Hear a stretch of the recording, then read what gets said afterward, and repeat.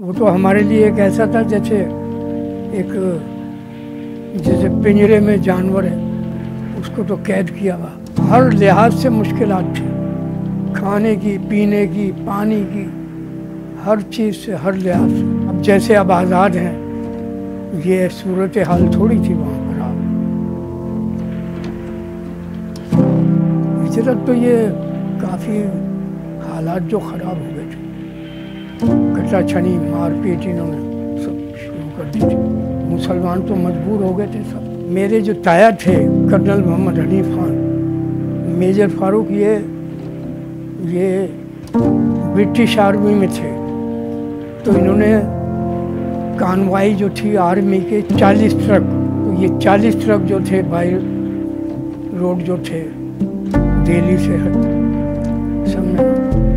उसमें एक ट्रक शहीद कर दिया था, जिसमें तकरीबन 28-30 आदमी थे।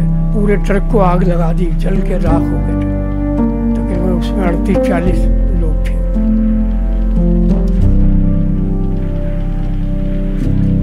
ट्रेनों में भी मतलब सिख काट रहे थे, मार रहे थे, जहाँ उनका बस चलता गधा गाड़ी है बैलगाड़ी है बैलगाड़ियाँ अक्सर थी, ऊँट, ये इनके